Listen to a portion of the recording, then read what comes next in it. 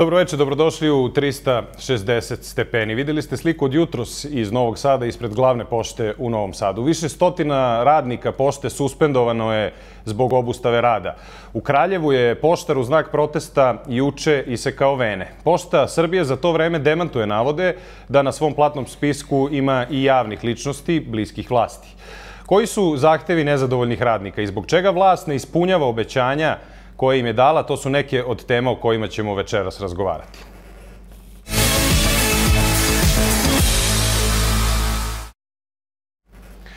Za 360 stepeni govore poštar Stefan Mitrović i Zoran Pavlović iz Samostalnog sindikata poštanskih radnika Srbije. Dobroveče i hvala vam što ste večeras ovde u 360 stepeni. Dobroveče.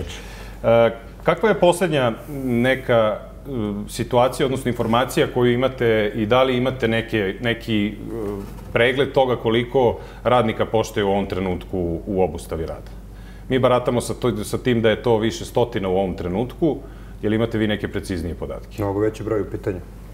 Ovu nedelju smo imali neke nezvanične podatke da je dve trećine radnika javnog preduzeća Pošte Srbije u obustavi rada, što dolazi do nekog broja od 10.000 ljudi na teritoriji cele zemlje, na nivou preduzeća. Da, onda tu dolazimo, Zorane, do, do toga da e, rukovodstvo pošte tvrdi i to je ono što je važno da spomenemo i na početku ove emisije, kao mnogo puta do sada, kada se radi o jednom javnom preduzeću, e, u emisiju smo zvali i ljude iz Pošta Srbije, iz rukovodstva e, samog preduzeća, direktoricu, odnosno VD direktoricu Pošta Srbije, Miro Petrović. E, oni na naše pozive nisu odgovorili i nemamo njihove predstavnike večeras ovde sa nama. Nažalost, nećemo čuti šta oni imaju da kažu o situaciji u svom preduzeću, ali ćemo o tome, naravno, i bez njih razgovarati. E, ako je tačna ova informacija koju kaže Stefan, onda ne bi bila tačna informacija koju smo danas dobili od pravnika ili koju e, stava tog koju u saopštenju iznela Pošta Srbije da nije dovoljan broj radnika stupio u obustavu rada da bi to bio zakonski štrajk. Prvo, gospođa Petrović nije vede direktor preduzeća po zakonu u javnim preduzećima. Njen mandat istekao isteko još septembra 2017. godine, čak ima i u sudskim presudama prvostepenim gde se konstatuje ovaj, da je mandat istekao koje nisu bitne za, za, za, slučajeve gde zaposleni vode procese, ovaj, sudske procese protiv preduzeća zbog suspenzija još iz 2017. 17. godine. O, broj zaposlenih koji u obustavi je e, značajan. Ja ne bih licitirao sa tim brojem i, i, ovaj, i uprko s tim pritiscima, znači pretnjama suspenzijama i suspenzijama koje su oni ovaj, već izrekli za više stotina zaposlenih, znači zaposlenih iz Novog Sada, iz Renjanina, Kikinde, Sremske Mitrovice, Pančeva, sinoć u glavnom poštanskom centru Beograd, znači sa Beogradom su tek sad krenuli, zaposleni su odlučni da istraju u svojim zahtjevima. E, da li e, su radnici koji su u obustavi rada sada u zakonskoj obustavi rada ili ne? Pazite, znači, štrajk niko nije proglasio, niti ovde postoji štrajk, ovde postoji obustava rada. I svaki metod borbe protiv jednog nasilja na zaposlenima je za mene sasvim legalan i prihvatljiv. Inače, zakon o štrajku u Srbiji je takav da praktično obesmišljava pravo zaposlenima na štrajk. Hvala vam na ovom delu, uvodnom delu razgovora. Sada ćemo u emisiju uključiti Natašu Dejanović-Dančetović. Ona je e, zaposlena u Pošti Srbije iz Novog Sada i e, suspendovana je e, juče, ako se ja ne varam. Nataša i suprug radi u Pošti E, Nataša, dobroveče i hvala vam što i vi učestvujete u emisiji 360 stepeni. Šta za vas sada u ovom trenutku znači? Dakle, po zakonu o radu u Republici Srbiji ta suspenzija može da traje do 90 dana, primaćete trećinu plate i imamo tu neku računicu da je to od 7 do 10 hiljada dinara mesečno. Šta to znači za vas u ovom trenutku?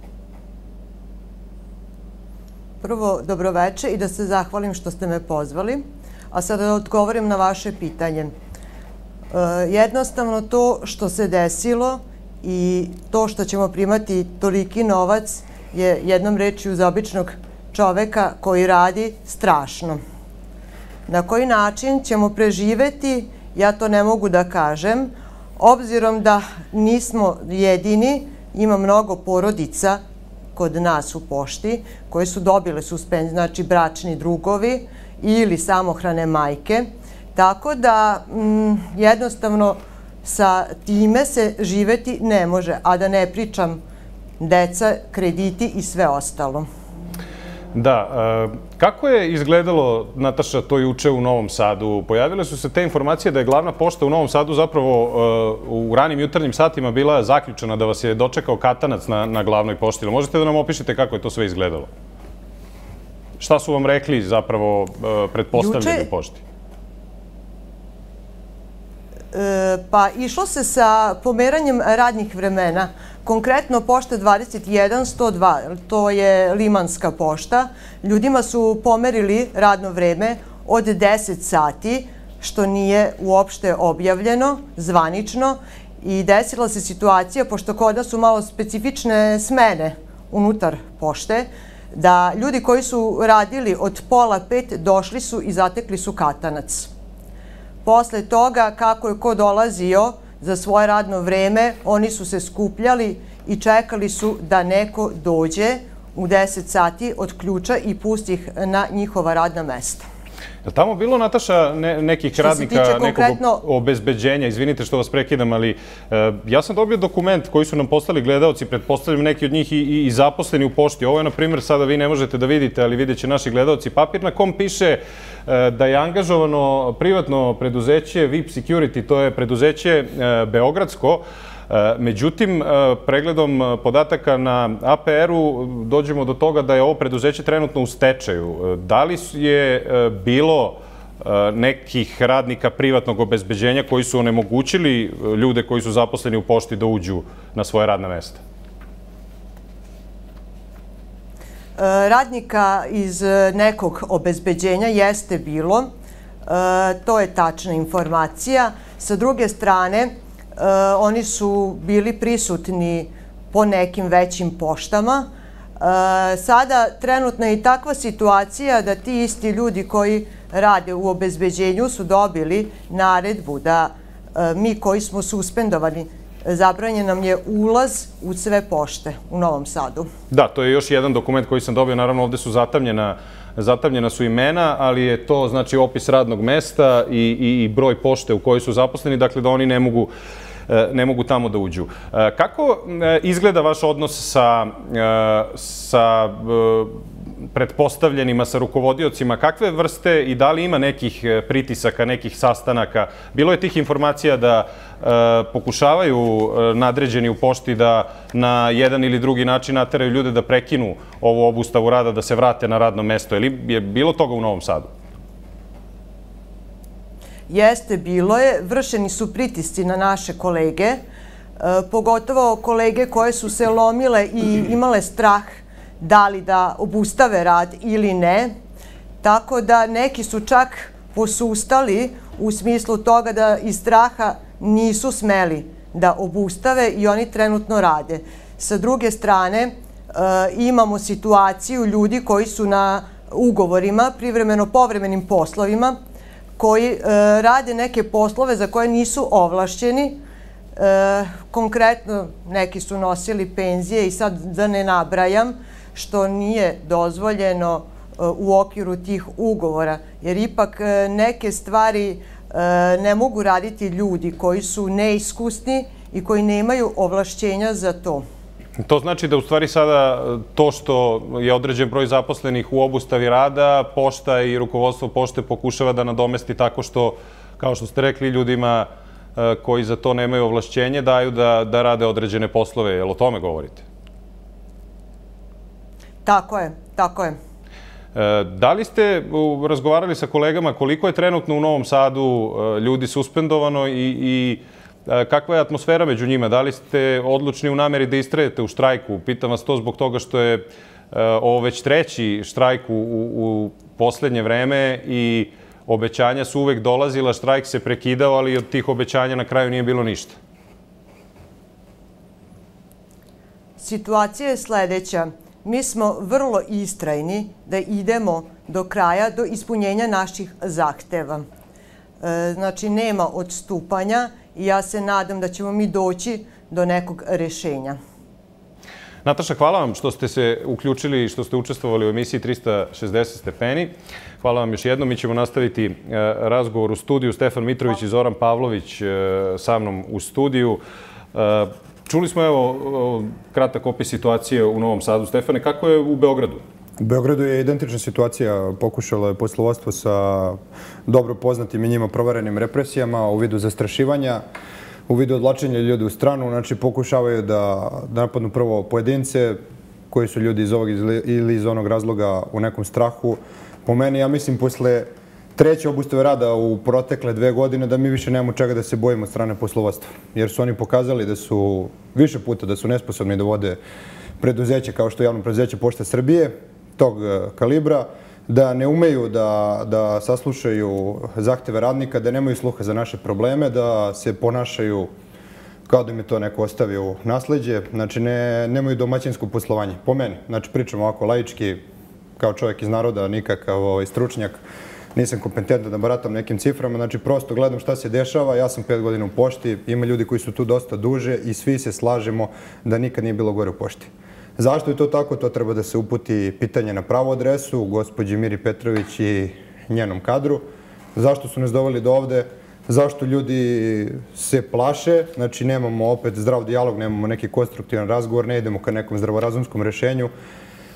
Dolazimo do toga, do toga da se ljudi plaše, ali kažem, to je opet u manjini. Dosta ljudi u obustavi, sviđa mi se ovo zajedništvo, opet smo do, došli, do, dostigli taj neki nivo kolegijalnosti, E, empatija, znači držimo se zajedno, nisu ljudi što kaže koleginica iz Novog Sada, nisu pokolebljivi, hrabri su, istreni, odlučni, ima pojedinaca naravno i ovakvih i onakvih kolegama koji rade, pored svega što mi pokušavamo da uradimo da bude bolje i nama i njima, odnosno nama i da, da ne razdvajamo nikakve podele, da ne pravimo.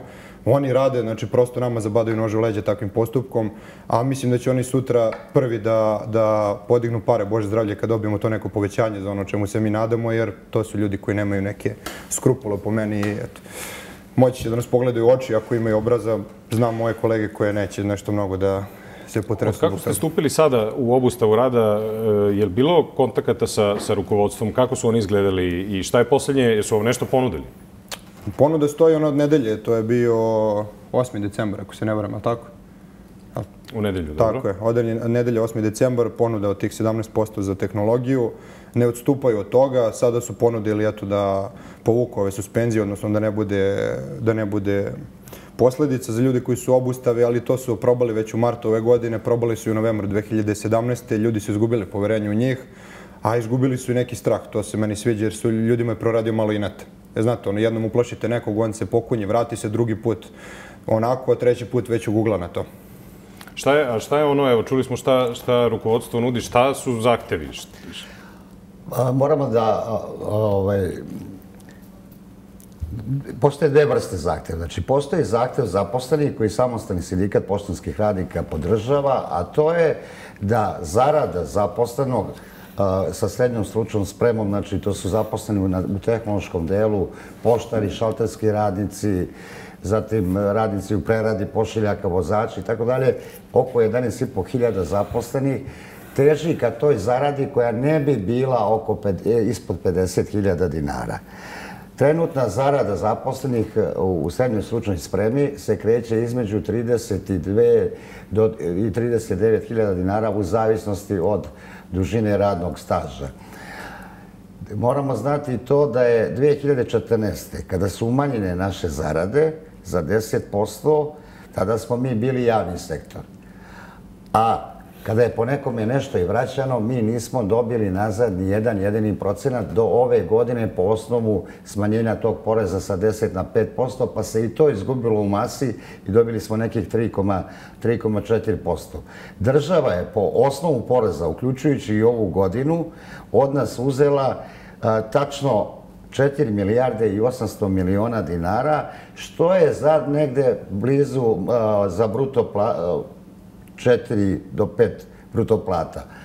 E, znači, i sada nam vraća te neke mrvice gde bi sa tim povećanjem koje se nudi zaposleni poštar sa 39 možda otišao na 45.000 dinara, što je za nas neprihvatljivo i mi smo to odbacili i tražimo da se ta ponuda popravi. Na koji način?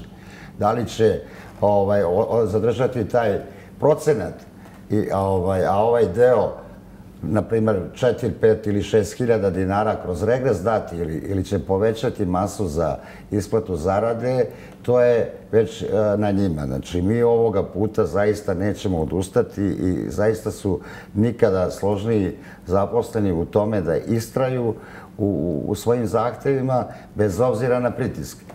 Drugo, mi kao sindikat već unazad dve, tri godine ukazujemo vladi Republike Srbije na stanje u pošti koje je iz godine u godinu sve gore i što se tiče i poslovnih rezultata. I tražimo smenu gospođe Petrović i zbog njenog odnosa 2017. prema zaposlenima kada je suspendovala 37 zaposlenih ovaj, i uopšte sada i u ovoj obustavi u martu mesecu kada je došla poslednjeg dana te obustave praktično i rekla budite srećni što uopšte imate posao. Znači, to je ovaj, naš zahtev i pored toga, naravno, veliku odgovornost tu snosi i nadzorni odbor preduzeća za takvo stanje u pošti.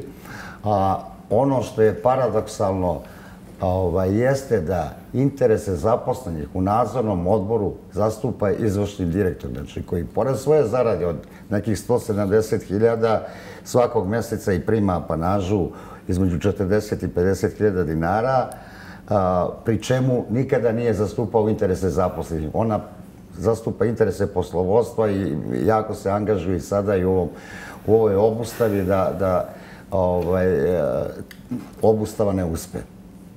E, poslednje obećanje pre ove obustave rada, e, tada je dao sadašnji ministar unutrašnjih poslova, potpredsjednik vlade Nebojša Stefanović i on je tada obećao radnicima povećanje zarada i ispunjenje dve trećine vaših zahteva od tada. I je se nešto desilo, bilo šta od toga što ste tada pregovarali? Pa, pregovarao je tim radnika. Znači, neka od tih obećanja su ispunjena, odnosno tačnije dva obećanja isplata zarade iz dobiti linearno i isplata socijalne pomoći od 20.000 dinara za one najugroženije, a njih je od 15.000 negde oko 13.500. Ovaj, naravno, i to je To govori u kakvom stanju se nalaze zaposleni u Pošti Srbije kada oni moraju da primaju socijalnu pomoć od preduzeća. A ono što nije ispunjeno, iz tog dogovora. To nije bio sporazum, nego je to bio dogovor. Znači, nije izvršena analiza koeficijenata, a rok je bio novembar. Da bi se to uradilo, za to su potrebni meseci. Znači, imali su prostora, imali su vremena do, do, od aprila meseca do novembra, ali ništa nije urađeno i tu je pre svega odgovornost na poslovodstvu. A zatim nije preispitana opravdanost pojedinih radnih mesta kao što su savjetnici i slično. Nije ispoštovano dogovoreno da se sredstva za povećanje i korekciju zarada preusmere u tehnologiju i za deficitarne kadrove kao što su informacijne tehnologije, zaposleni koji rade na tim poslovima. Ovaj, I takođe i ta uvećanje mase koje je ponuđeno za 2020. godinu je nedovoljno kako ga god preraspoređivali, ovaj, vi preraspoređujete praktično siromaštvo na jednake delove. Zašto? Zato što vi od 15.000 zaposlenih imate 11.500 najugroženiji, to su ovi sa srednjom stručnom spremom u kojima sam malo pregovorio. Znači, neophodno je uvećati tu masu ili na neki drugi način kroz regres ili, ili ovaj, uh, kroz topli obrok tako da se dosegne ta cifra koju zaposleni traže od 15.000, od 50.000 dinara minimum. A opet ponavljam, znači, e, državi se slilo u budžet samo po ovom dodatnom operezivanju za ovih 5-6 godina koliko je na snazi ovaj porez 4,8 milijardi dinara ili 40 i, i, i nešto miliona evra. E, vi ste, Stefane, nekoliko puta u ovih dana od kako traje obustava govorili upravo o toj razlici i upotrebljavali se taj izraz da e, ljudi koji rukovode poštom imaju šestocifrene plate. Kolike su te razlike? Vi imate e, te podatke, znate kakva je ta razlika i koliko su one velike razlike, na primjer, između poštara koji radi u pošti i, i rukovodstva? Razlike su enormne u odnosu na ono što je bilo, koje, kolega Zoran bolje zna, koeficijent je bio odnosu 1 prema 3, ali tako sad je došlo do nekog 1,8, 1,10. Razlika između kompetentniji čovjek da govori o ciframa, ali znamo da su u pitanju velike, velike, ovaj, veliki iznosi koje, kažem, opet u redu je kad neko prima platu pa i zaradi tu platu. Ali sa ovakvim ponašanjem, sa ovakvim bahaćenjem, da oni nastavljaju da primaju te plate i da ne poslušaju glas narodno, odnosno ljudi koji su ispod njih u hjerarhijskom lancu, da se ogluše o svaku molbu, svaki apel i onda dolazimo do toga da ljudi prestaju da mole i da su ogorčeni i da dolazimo do ovog. Nije nam u interesu da stane pošta, da stane država. Hoćemo da radimo normalno svoje poslove za koje smo plaćeni, ali da budemo plaćeni za njih, ne da budemo bedno plaćeni i pocenjeni, da se ponašaju prema nama kao prema građanima trećeg reda. Prosto hoće ljudi da odrade svoj posao, da odu zadovoljni kući i da znaju zašto su to radili, da mogu da prežive mesec sa svojim porodicama. Bilo je takve komentara da će sada ovom obustavom rada biti pogođeni, na primjer, penzioneri koji takođe dobijaju e, veoma male iznose da neće dobiti svoje penzije na vreme i tako dalje. Da li ste o tome razmišljali, razgovarali sa kolegama, imate neku poruku za njih? Razmišljali smo, naravno, žao nam je tih ljudi, ali ja kažem, ne vidimo drugi način u ovoj situaciji gde je jednosmerna ulica, gde mi godinama unazad pokušavamo da skrenemo pažnju na naše mala primanja, na loše uslove rada, na nedostatak ljudi na ključnim mestima u tehnologiji i ne ilazimo na jednu tišinu ili kad progovore gospoda iz poslovodstva, onda su to pretnje, dreke i tako dalje njima, njima ovaj, dobro poznati metodi. Dolazimo do toga da moramo, nažalost, da, da se ogrešimo od te ljude koji takođe čekaju te mizerne penzije od kojih žive, ali prosto, eto, još jednom koristim priliku da im se izvinim u svoje u ime kolega koji su obustavi, da pokušaju da nas razumeju, zato što nemamo drugi način da skrenemo pažnju na goreće probleme u našoj kući. Hvala vam na ovom delu razgovora. E, ostanite uz 360 stepeni, uskoro se vraćamo u studiju.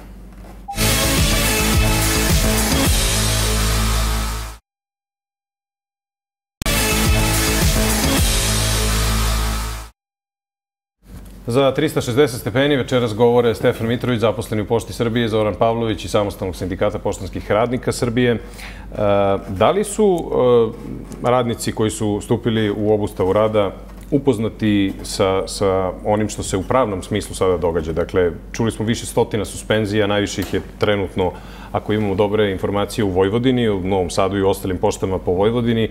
Evo i u Beogradu je to sve počelo i u drugim mestima.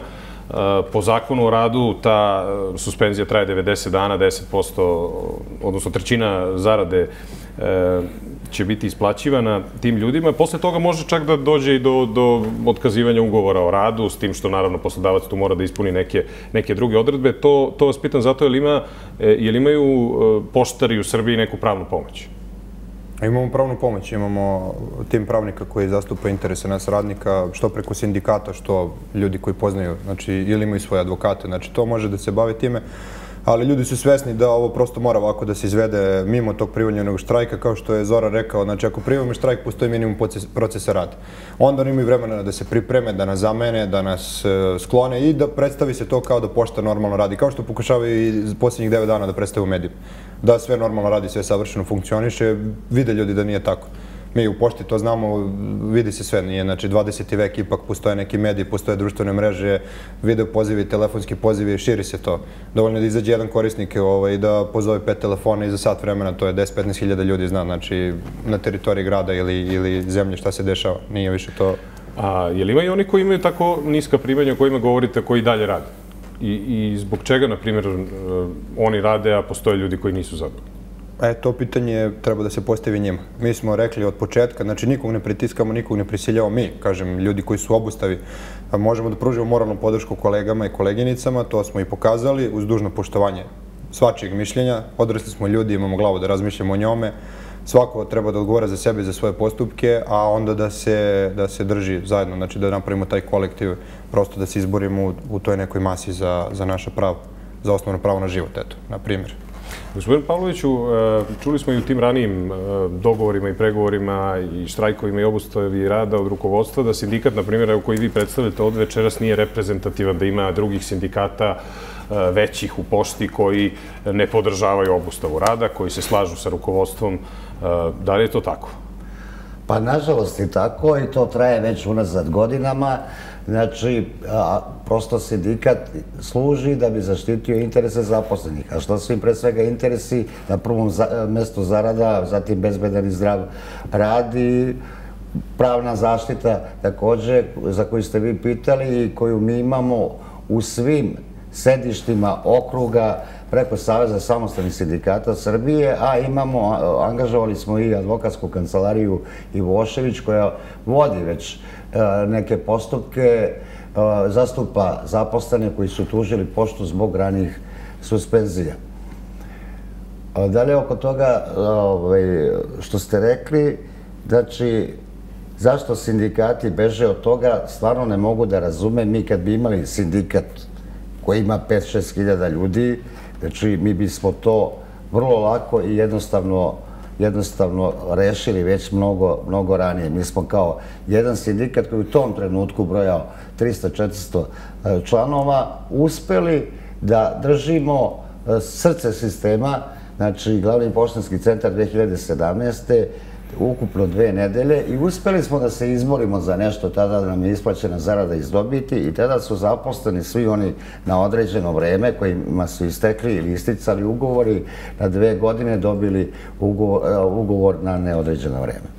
E, prošli put se u, u razgovore kada je taj e, štrajk e, obustavljen uključio gospodin Stefanović. Sada su međutim informacije da vlada nekako želi da ostavi ove probleme po strani i da pusti rukovodstvo pošte u ovom trenutku da, da to uradi. Zbog čega mislite da, da je u ovom trenutku takva neka odluka izgleda? Pazite, ja mislim da niko sada neće taj vruć krompir da preuzme i ovaj, verovatno i koalicijani partneri njihovi e, žele prosto da kažu mi nismo odgovorni za to, za to je odgovoran PUPS i tužna je ta uopšte priča u, zemlji Srbiji da, da se javna preduzeća dele kao nekakvi feodi po strankama, a, a upravo za vreme njihovog mandata, tačnije, pogotovo od kako je došla gospođa Petrović, škola su krenula nizbrdo u svakom smislu te reči i nema socijalnog dijaloga i nema uvažavanja, znači mi nismo ni ranije bili reprezentativni, čak smo bili i manji sindikat,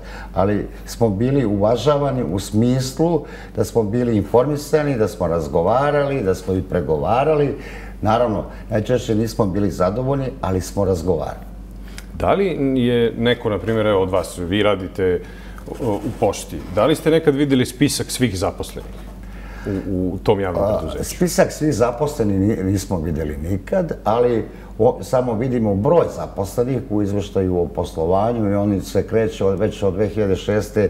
On je negdje na nivou oko 15.000 ovaj, zaposlenih, s tim što nije problem toliko u broju koliko u strukturi zaposlenih. Nama upravo zbog te politike smanjenja zarada. Bolovanja su se utrostručila. Dalje, ljudi e, masovno napuštaju poštu. Samo primjera radi da vam kažem, e, u, periodu dok zarada nije bila smanjivana, jednostranom voljom i sporazumnom sporazumno pošto se napuštalo godišnje oko 50 zaposlenih. Ta cifra je u 2018. bila 371, u prvih šest meseci ove godine je 221, a siguran sam da će do kraja godine preći preko 500.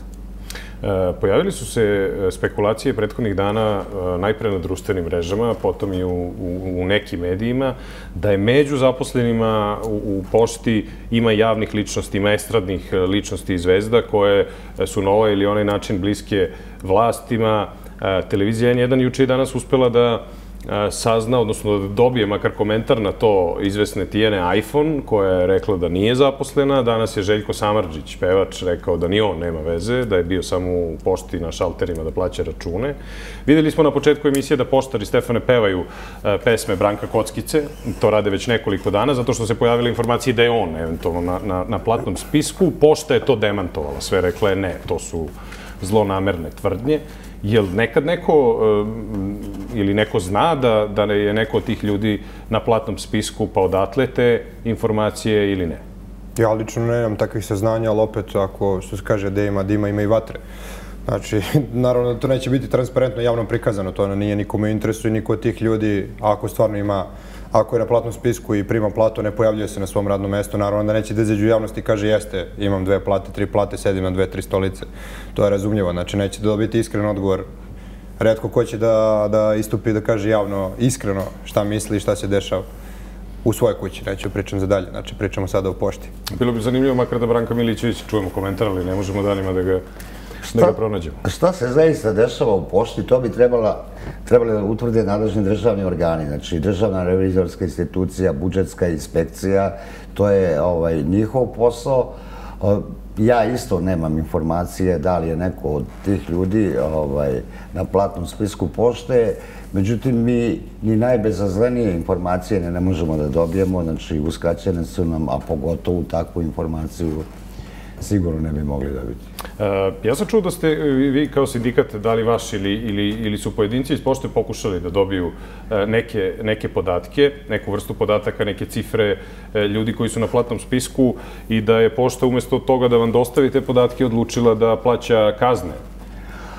Ono što se desilo prošle godine, mi smo tražili da nam dostavi sve korekcije koje daje direktor preduzeća iz mase koja je negde oko 100.000 evra na mesečnom nivou, odnosno 1% u odnosu na ukupnu masu. Ovaj, I tek kad je zaprećena kazna, znači od strane e, poverenika i kad je stiglo izvršno rešenje, oni su nam zaista to dostavili i za svaku sitnicu mi moramo prvo da se obratimo licu koje je zaduženo za postupanje po informacijama od javnog značaja u preduzeću. Naravno, ne daju nam odgovor i onda se obraćamo povereniku i tu čeka se po godinu i više dana iz razloga što i sam poverenik ovaj, i ta kancelarija poverenika zatrpana sa mnogo predmeta i prosto ne stižu. E, juče smo dobili tu, mislim, zaista e, strašnu vest iz pošte u okolini Kraljeva i to sam želeo da vas pitam da li imate bilo kakve informacije o čoveku koji je kako smo juče saznali, pokušao zapravo da izvrši samoubistvo, sprečili su ga i brzo su reagovale njegove kolege, pozvali su hitnu pomoć. On je trenutno u kakvom stanju, da li, da li znate? Pa ja sam se čula juče sa predsednikom sindikata Solidarnost koji je išao da ga obiđe i rekao mi da se osjeća bolje ovaj, psihički i fizički, naravno da mu nije prijatno i mislim da je još uvek u bolnici. Ovaj, to je naš kolega Marko Božić, koji nije mogao da izdrži taj pritisak. Znači, pritisak, koliko sam razumeo, upravnika je bio jako veliki. Ovaj, da, da poštari izađu na dostavu i da krenu sa radom. On nije hteo da izda svoje kolege, znamo ga, veliki je borac i pribego je tom načinu, nažalost. Je li to eh, onda eh, slika eh, toga sa kakvim se pritiscima suočavaju radnici u pošti ako čujemo na kraju krajeva jednu takvu vest? Svakodnevno, to je ono o čemu pričam. To su ti pritisci, neljudski pritisci koji, koji ljudi svakodnevno moraju da trpe. Dolazimo do toga, eto, do, do takvih slučajeva kao što je, što je kolega iz Kraljeva, što je žalostno čuti i videti za, iz bilo kog razloga, a ne iz, razloga eto, što čovjek je se našao između čekića i nakovnja, znači u situaciji da ga pritiska neposredni rukovodioc da radi u, u ovoj obustavi rada, znači gde nije da nije redovna situacija, da je ovo vanredno stanje i s druge strane ta solidarnost prema kolegama koji su obustavi i dolaze eto ljudi koji su tako malo labilniji dolaze do, do pucanja sistema i dolazimo do ovakvih situacija. Kako će to da izgleda u narednim e, mesecima kada e, imamo i ponavljam ponovo svi ljudi koji su suspendovani dobijaće samo, samo trećinu primanja, a od tog novca zavisi nečije porodice? Pa ja se iskreno nadam da neće do toga doći, za to se i borimo. Da se ponište te suspenzije, da se vratimo u normalu, da radimo i da dobijemo ono što tražimo.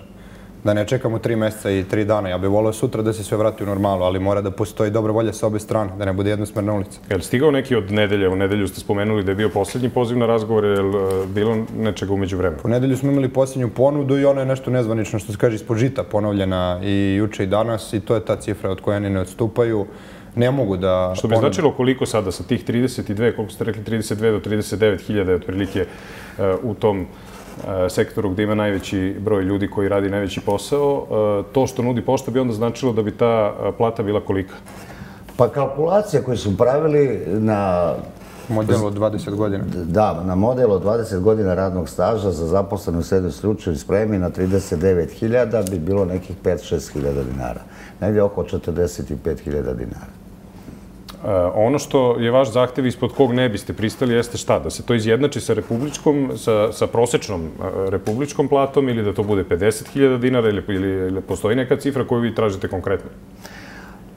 prvo da, da bi razumeli stvari, znači, naše zarade u pošti, govorimo zaposlenim u srednjoj slučajnoj spremi, nikada nisu bile bog zna šta da ljudi ne pomisle, ali su se uvek kretale oko republičkog proseka.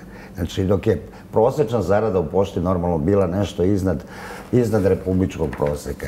I, I sve je to, da tako kažem, od 2014. iz godine u godinu ovaj, sve, sve je više zarada obezvređivana, ne samo procentualno, ne, ne, nego i, realno zbog rasta troškova života. Znači, neka naša kalkulacija je da su, da su nam uzeli za ovih ovaj, 5-6 godina u proseku po nekih 250.000 dinara, a sada vraćaju 5-6 hiljada dinara. Da, i ako uzmemo tu cifru da je negde, ne znam, evo, ovo je podatak koji imam iz septembra 2019. prosečna plata nešto ispod 54.000 dinara, mislite da je realno očekivati to u pregovorima sa rukovodstvom pošte? Da stignete do te cifre, 54.000?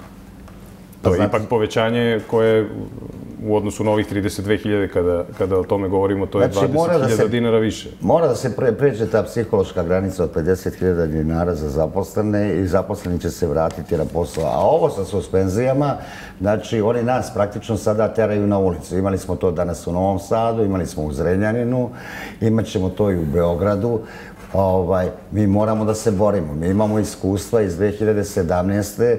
Znači, kada je bilo 37 suspendovani samo u, u celoj pošti Srbije, pa smo organizovali protestne šetnje, pa smo internacionalizovali problem i bio je veliki pritisak i, i ovaj, bile su a, pripremljene i demonstracije ispred ovaj, naše ambasade u Beču za 10. januar i to je urodilo plodom u smislu da su nakon mesec i po dana vratili najveći deo zaposlenih, dok je nas pet ovaj, izdržalo tu, da tako kažem, kaznu od tri meseca.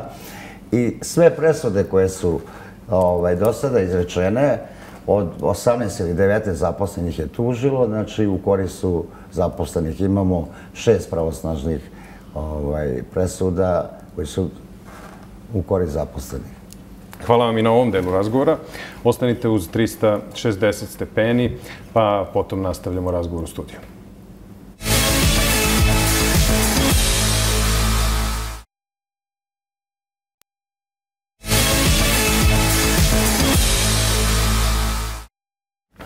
O situaciji u Pošti Srbije razgovaramo večeras u, u emisiji 360 stepeni. E, navikli smo nekako u poslednje vreme e, bilo koji štrajk e, u Srbiji radnika u bilo kojoj e, oblasti, struci i tako dalje, uglavnom je morao da rešava neko iz vlasti, uglavnom je to u poslednje vreme rešavao predsednik Srbije. Da li ste vi razmišljali da se kao radnici obratite, tražite njegovu pomoć ili mislite da i dalje to sve treba da ostane na ovom nivou da razgovarate trenutno sa rukovodstvom ako ne do nekih novih razgovora ili obnove razgovora dođe? Pa nismo iskreno da kažem ni o tome ni razmišljali. Eto, bavimo se problemima u svojoj kući, pa ako ima sluha, radi smo da svakog saslušamo ako ima neka, neki ovaj, konkretan predlog kako da to rešimo, odnosno neku ponudu koja da će da zadovolji ljude i da ih vrati na radno mesto, da nastavimo da nesmetano obavljamo svoj posao. E, kada je prethodnih puta dolazilo do štrajka, onda su se u medijima pojavljivale informacije da se zapravo sada u pošti da, da, da određena interesna grupa, određene privatne kompanije koje a, e, takođe rade neku a, e, vrstu dostave robe, materijala i tako dalje, pokušavaju zapravo da oslabe poštu i, i da, da li ima nešto u, u, u takvim pričama Ma, neke istine? To je prebacivanje kako bi rekao, odgovornosti da neki drugi teren. Znači, gospođa Petrović je mene optužila konkretno na jednom sastanku prošle godine u aprilu mesecu, koji je sniman. Rekla je doslovice, doslovce znam ja da ste vi dobili pare ovaj, za, i od koga ste dobili pare. Ja sam je pitao, rekao, gospođo, ponovite mi to još jedan put, hoću da vas tužim. Dakle, tužite me. I tužena je i priznala je krivicu.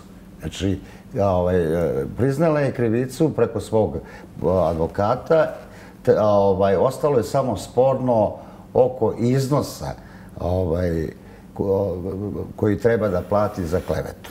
Znači, ali krivicu je priznala. Tako da, ona ima taj manir da, da su svi drugi odgovorni sem nje.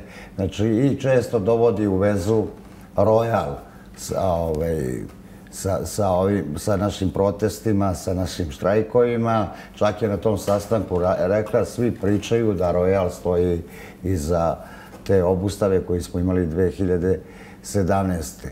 Znači, sva odgovornost je pre svega na gospođi Petrović, na menadžmentu, a naravno da je najveća odgovornost na vladi Republike Srbije, jer je ona osnivač. Prosto ne znamo šta više treba da se desi da bi gospođa Petrović, za koju kažem ponovo da je istekao mandat, bila smijenjena sa te funkcije. Ona jednostavno nije dorasla tom poslu. Znači, ja opet ponavljam, što sam i rekao i ranije i postavljao pitanje, neka kaže kada je, gde i koji fakultet završila. Ako neko završava na nekim strukovnim školama ili ne znam već tim fakultetima u šestoj deceniji, zna se zbog čega se to radi. Znači, jedina preporuka za ovu funkciju ovaj, čelnu u Pošti Srbije jeste njena politička pripadnost, ništa drugo.